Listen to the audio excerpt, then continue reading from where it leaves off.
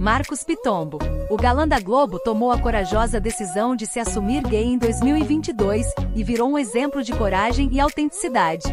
O meu processo de descoberta veio junto com a carreira artística.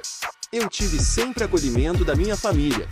É importante os pais amarem os filhos independentemente da projeção que fazem para eles.